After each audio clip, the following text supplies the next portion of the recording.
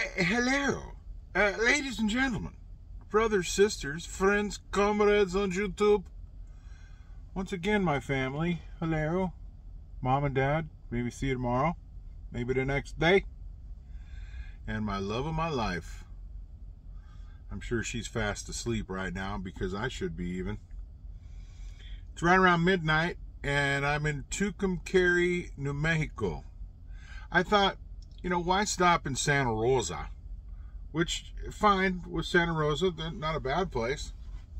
Looked very full, though, as I rolled by. But this place just has more nostalgia to it. It's Tucumcari, man. uh, historic U.S. Highway 66 right alongside of it. I just thought this is this just kind of puts the icing on a very long day's cake.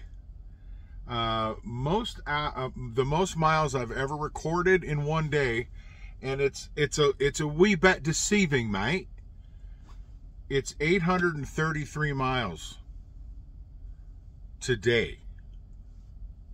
I mean, what the um, uh, 12th of um, April. Um, 833 miles. Now, uh, to be completely forthwith, um, two hours of that was my drive from Lost Hills, California, into Kingman. So, because I didn't get to Kingman until it was about a quarter after 2 a.m. So that still included today's miles. And if I'm no mistake, it was about it was about 190 some odd miles or so after midnight. And then I added today's festivities, which was look, let's just face it, it was an ass kicking day. I went from Kingman, Arizona, all the way to Tacoma. No, I didn't. I but I'm in Tucumcari. I don't know. Do the math. It's uh, that's a long run. I haven't even done the math yet. I was so excited to tell you all about it. I came to you ill prepared. But uh, anyway, a really uneventful day, except that, man, I 40 from uh, many stretches of it that I felt today. It is the worst road I have ever been on. It isn't even, it's not even a contest. Particularly from Kingman to about mile marker 115 or so. Absolutely atrocious. I did a post trip, you know, little trip around the truck and nothing obvious. And I did that twice today. I did it when I took my break um, in Marietta. Marietta? Moriarty, maybe is what it was. Anyway, just east of Albuquerque. Um, took a half hour there, uh, packed it full of fuel, and hit the road. Uh, did it uh, once around there too, but I'm going to have to do an extraordinary pre-trip tomorrow, um, and really, really have a hard look at these suspension parts, man, and the tires, because oh my goodness, this truck and I got beat up today. I mean, really beat up. This the 40 is horrendous. It is absolutely pathetic. I don't know what these people are thinking maybe they think it's a good idea to keep the economy going to have Loves come out in their fancy service truck to fix everybody's tires. Because I did see a few of those alongside the road. Uh, Loves trucks showing up to squeeze out somebody's tire for them. It's just ridiculous, man. I'm telling you. Absolutely absurd. So, um, but other than that, really uneventful. Um, pretty smooth run today. And the reason for that, which is always the reason, is weather is always a factor. And if there isn't any, you can hammer down, man. It's you can you can throw 600 down a day. It's no problem to do if you don't have weather issues like in I'm not even going to say the word. I'm not even going to say it. I'm not saying it. Damn it. I refuse to. I'm just not saying it. Um, there's another one that I don't like saying either. Ute. Starts with a Ute. Last time I rolled through there, I was in a blizzard. That was on my home time leg for uh, last week. Unbelievable, man. Just the weather this year has just been off this chain, dude. So, but anyway, if you don't have weather, man, it's hammered down. And uh, we were able to do it. Uh, I didn't stop for seven and a half hours. That's a long run. I don't care who you are. That's a long run. So, um, that was a, a real healthy chunk of my day. Uh, was that amount of time, and it was really cool scenery. Even it's a lot of up and hill, up and hill, hmm. up and down hills, or up and hill downs. I guess is what I was about to say.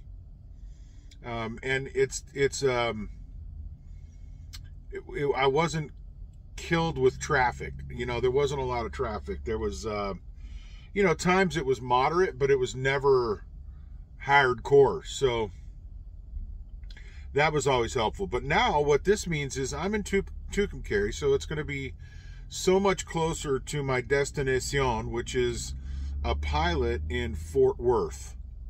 Um, it seems like it's in like northern Fort Worth. It, it is what it appears. Um, I haven't studied it a whole bunch, but it looks like it's in um, northern Fort Worth area, very close to where my delivery is, which is great because what I plan on doing is leaving here as soon as I'm able tomorrow, which is probably going to be a little bit after 10 a.m. and haul ass down to that um, pilot down there so I can get a parking spot. I got a creative parking spot today at this Tucumcari uh, Flying J that I'm at. Um, but whatever, I'm parked, curtains are pulled. I am to go to sleep here, ride direct. Uh, but what I'll do is haul ass down to um, uh, that pilot down there and then hit my folks up and see how they want to handle it because my load won't deliver until 5 o'clock the next day. How about that? And then 5 o'clock the next day is when I have a pickup.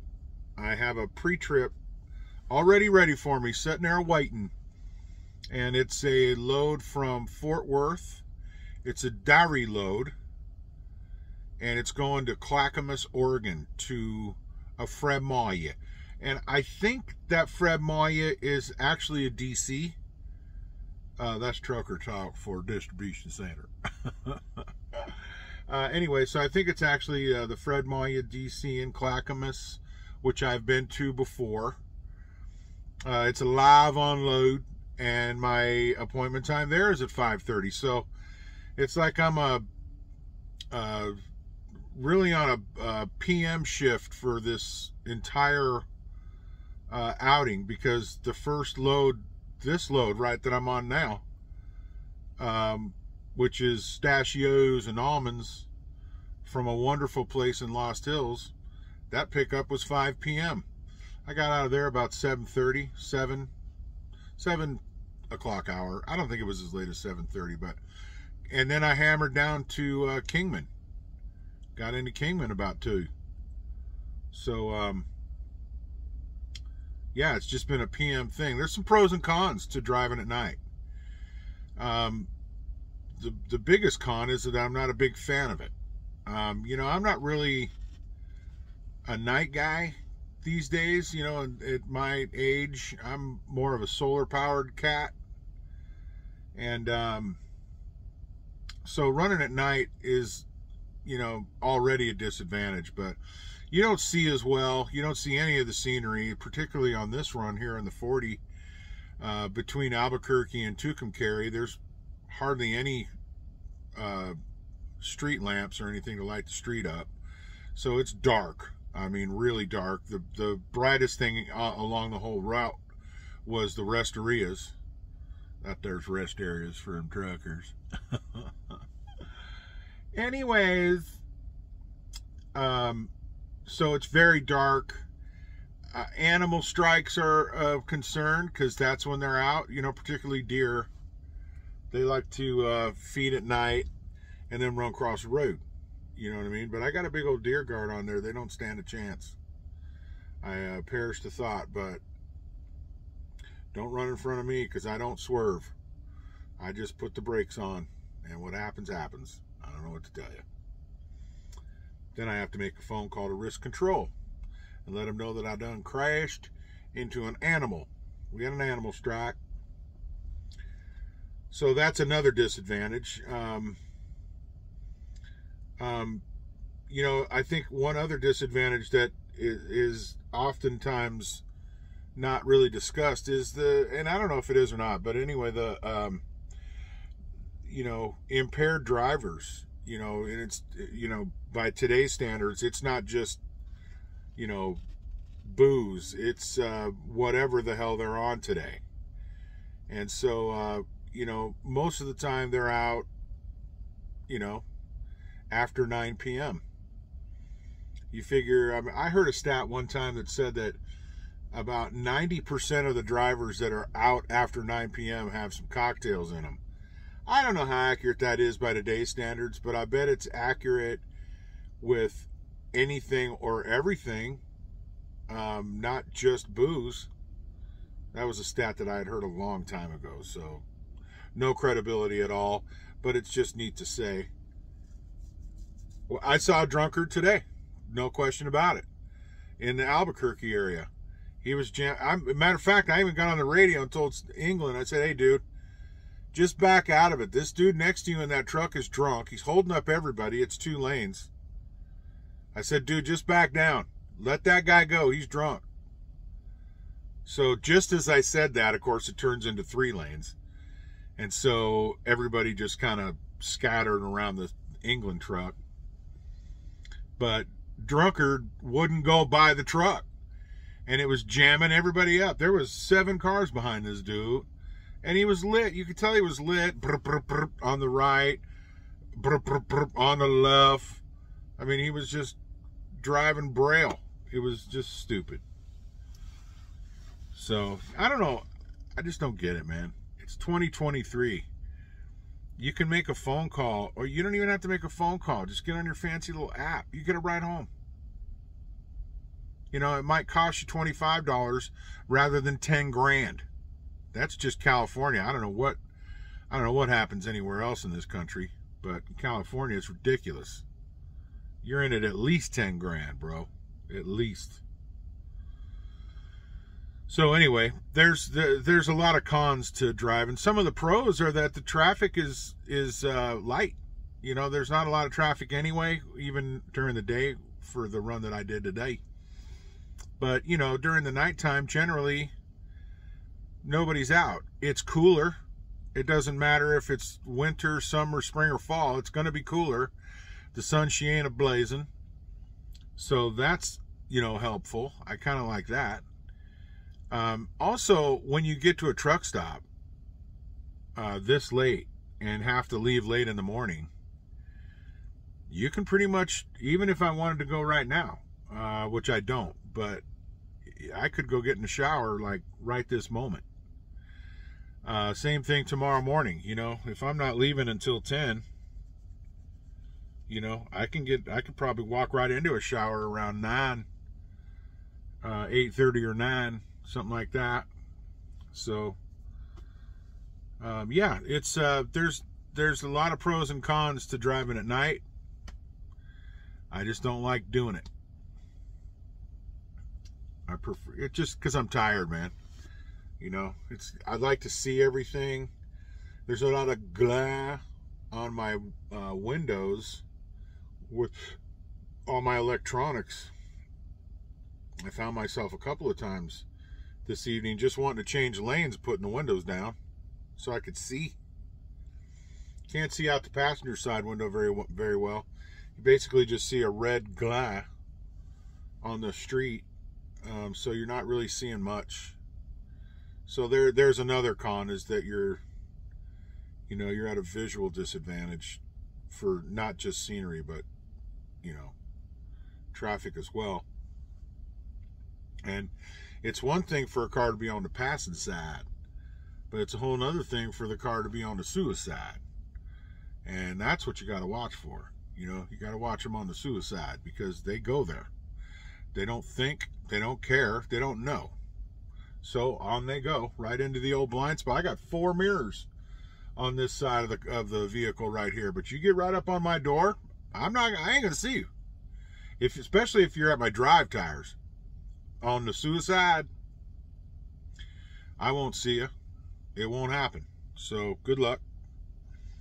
Because you won't win that battle either. I can tell you that. I mean, it may end my career, but it might end something else for you. So, yeah, you don't want to do that.